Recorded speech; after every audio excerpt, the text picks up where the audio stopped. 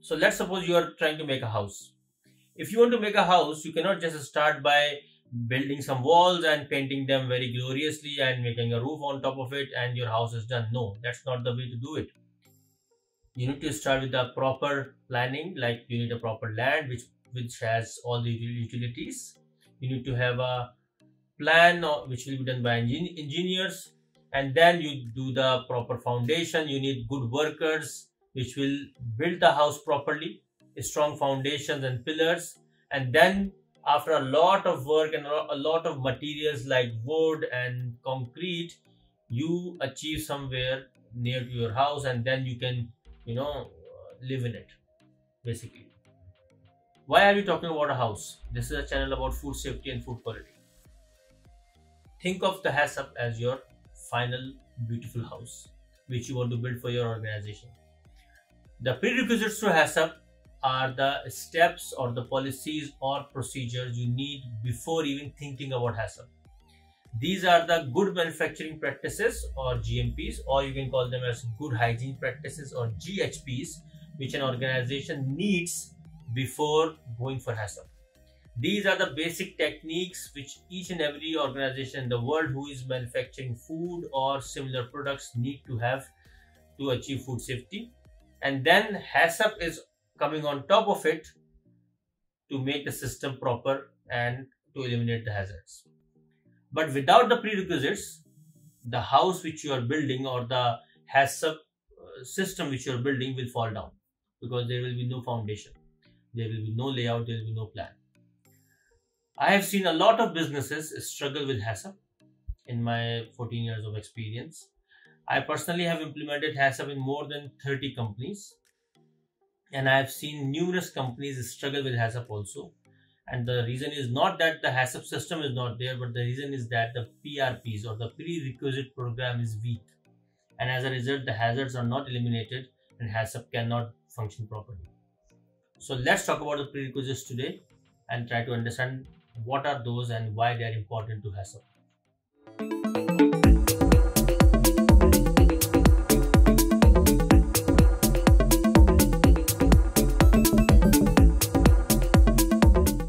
So as I mentioned, HACCP prerequisites are the good manufacturing practices or good hygiene practices which should be implemented in a business anyways, even if they want to do HACCP or no HACCP. These are general practices which should be part of any business to produce safe food. And once these prerequisites are implemented, any business can go and go forward to make some HACCP achievements as well. So basically, let me give you an example let's suppose a business wants to operate in food uh, area. And if they don't have proper personal hygiene how will they make food without contamination? So forget HACCP, forget any food safety management system. Their personal hygiene is so compromised that they cannot make safe food. So they cannot even think about HACCP. similarly cleaning and sanitation. If cleaning and sanitation is not done properly then again food safety is compromised through lack, uh, lack of cleaning and sanitation and contamination increases if a if a company doesn't have proper temperature control like calibrated chillers and freezers then the food will allow multiplication to happen and again it will be not safe so these are basic tools and techniques and systems which should be in place even before a business thinks about HACCP because they are the general food safety practices. So these are the prerequisites to HACCP. For example, management commitment. So if the management is not committed, then uh, the resources which will be not provided to the team to work on HACCP. What are the resources? This is a second prerequisite that adequate resources should be there. So there are five resources which we uh, count in the business. Uh, they are the five M's: men, machine, material, money, and method. So it's the job of the management that they show commitment and they provide adequate resources to achieve the project of HACCP. Then we need approved suppliers. Supplier assurance program is required. If the suppliers are not good and the food or the raw material which is coming in is, is uh, out of standard, then then the finished product will never be uh, safe. Uh, we have a saying in uh, businesses: uh, what you bring in as raw material that is what you give out as finished product if the raw material is not safe then the finished product will not be safe also then we need to have proper premises and equipments. The design of the premises the layout uh, utilities all these things matter to food safety. Same with the equipment. If the equipments are not well designed and they don't uh, provide proper functionality it will be a problem. Uh, and and this problem will be costly as well. Then potable water and uh, and uh, you can say safe water because water is a huge part of food business. A lot of foods uh, have water in them and then the water is also used for cleaning and sanitation as well. And higher standard of personal hygiene for people uh, it's a whole big big thing uh, you know in the food business uh, to have proper personal hygiene even in pharma and other businesses as well fmcg as well.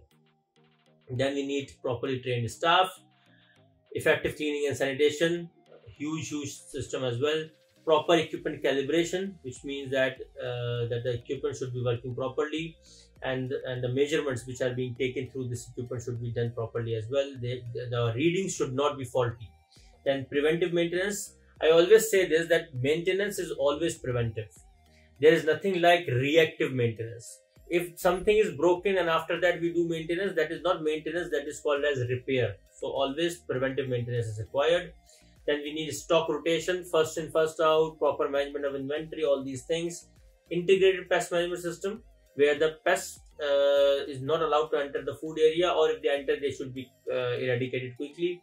Effective waste management then proper labeling and traceability of the food as well. These are some of the examples of prerequisite program. So these are the prerequisites to HACCP as I've mentioned uh, before also and I, will mention it again these are the systems which should be present in a food organization even before thinking of any food safety management system like HACCP. All these prerequisites are very important. They are part of good manufacturing and good hygiene practices. After finishing this HACCP series, I will make a full series about good manufacturing practices because systems like personal hygiene and cleaning and stock rotation and waste management and pest control each of them are so important and they have so many integrated details within them that they each deserve a separate video for them. So in one video of prerequisites i cannot cover all of these systems because they all have their own unique set of uh, you know unique set of details with them. So i want to give full justice to each of them. And as i said after finishing this HACCP series i will be making a separate series for them as well so these are the set of prerequisites. After we implement the prerequisites, we do a gap analysis audit to understand that what are the gaps uh, in our prerequisite standards and uh, do we have compliance or not. And if we achieve compliance, then we can go ahead and do HACCP basically. HACCP has 12 steps. Uh, the, this is called as Codex Logic Sequence of HACCP.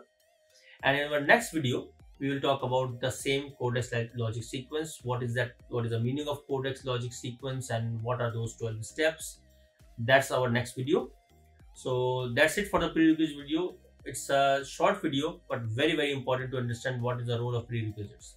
Again i will rephrase what i said before. A lot of companies struggle with HACCP and that's not because of HACCP it's basically poor prerequisites so if you have a problem within your system that your HACCP audits are failing or your rating in the HACCP is not coming very well or you have uh, you know poor findings in uh, in HACCP audits, please check your prerequisites. That's your key.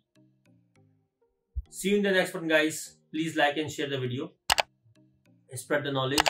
Uh, we need your support as subscribers and uh, do comment on the video if you have any questions Thank you. See you in the next one.